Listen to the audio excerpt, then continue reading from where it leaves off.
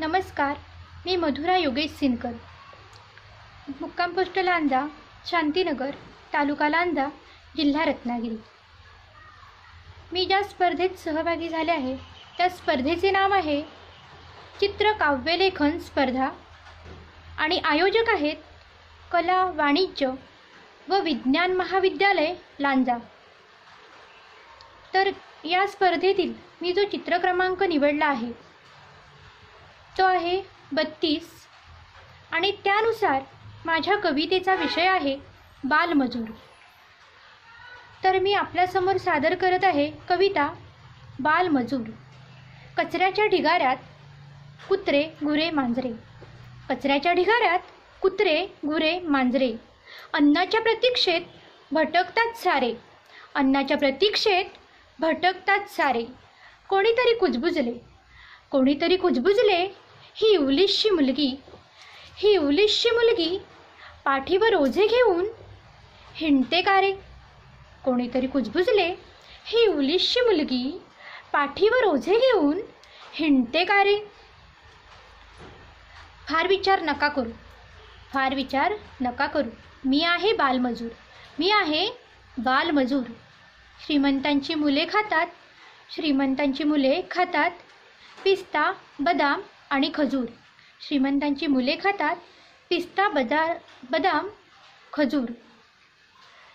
या टिचभर पोटासाठी या टिचभर पोटासाठी मी मालकाला म्हणते मी मालकाला म्हणते जी हुजूर.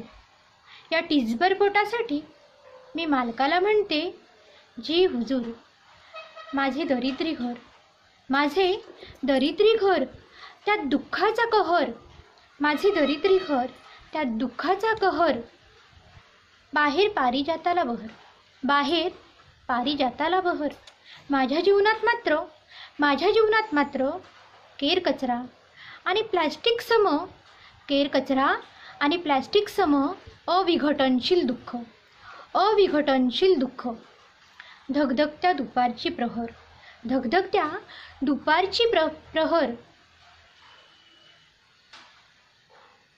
उपाशी पोटी निजण्याची उपाशी पोटी निजण्याची ही काळी रात्र संपणार आहे का? उपाशी पोटी निजण्याची ही काळी रात्र संपणार आहे का? बंगला आणि कारचा नको तो प्रवास. बंगला आणि कारचा नको तो प्रवास. तृप्तपोटी स्वप्नात हवाय.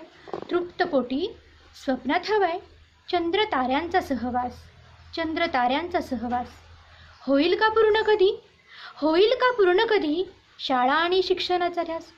शाळा आणि शिक्षणाचा ध्यास. मिळेल का कधी अम्मा? मिळेल का कधी अम्मा? ज्ञानाचा प्रकाश. ज्ञानाचा प्रकाश. मोकळे आकाश. मिळेल का कधी अम्मा? ज्ञानाचा प्रकाश. मोकळे आकाश. मी आहे एक बालकामगार. मी आहे एक बालकामगार.